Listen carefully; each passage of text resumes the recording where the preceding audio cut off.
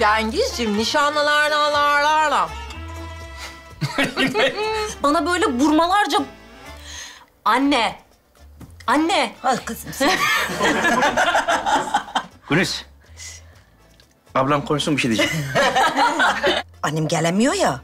Annemin memleketten kankası Şazmet. Annem gelemiyor ya. Annemin memleketten kankası Şazmet.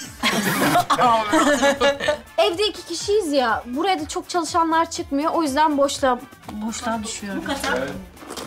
E, evde iki kişiyiz ya. Çalışanlar da bu kata çok az çıkıyor. O yüzden boşluğa düş... Boş bulunuyoruz.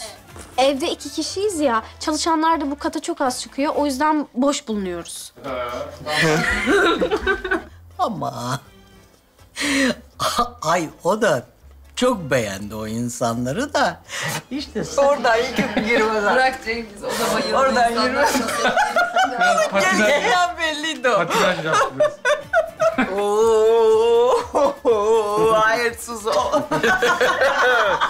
Ver gelsin. Onu demeyeydi. Ha?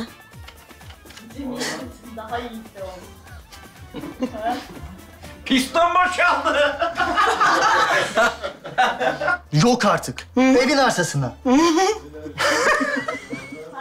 ha, siz onları bırakın da benim dizi film çekim işi ne oldu? Hala devam ediyor şu an. Saat üç. Finale gidiyor da hepsi. Hani bu hafta yapar mıyız bu çekim? Sezon. Sezon final. Finale gidiyor değil mi? Şey sınav finalleri gidiyor. Tam-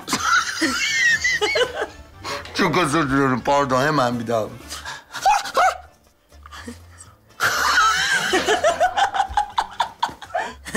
Oğlum sen ağlara çıkırık oğlunun manita olmaya bile...